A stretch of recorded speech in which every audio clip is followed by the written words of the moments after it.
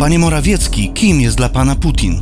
W grudniu 21 roku Morawiecki błyszczy wśród przyjaciół Putina.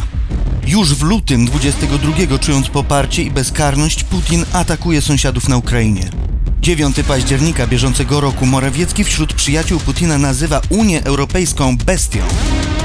Jeszcze tej samej nocy Putin atakuje, na ukraińskie miasta zrzuca 83 bomby.